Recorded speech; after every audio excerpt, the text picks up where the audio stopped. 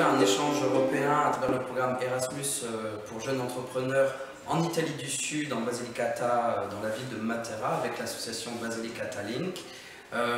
J'ai pu travailler sur mon projet d'entreprise avec l'entrepreneur qui m'accueillait, travailler sur euh, euh, un projet de séjour à vélo pour des jeunes euh, européens en Italie du Sud, mais aussi en Bretagne.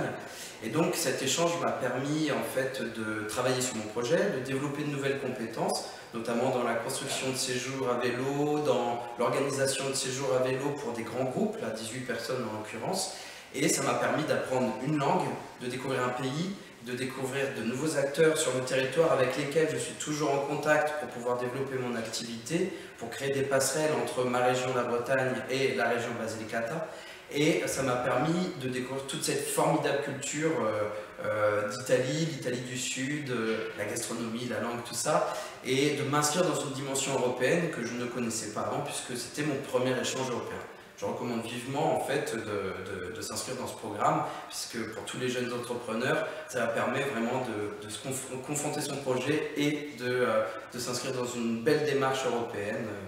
Et euh, à vous de le faire.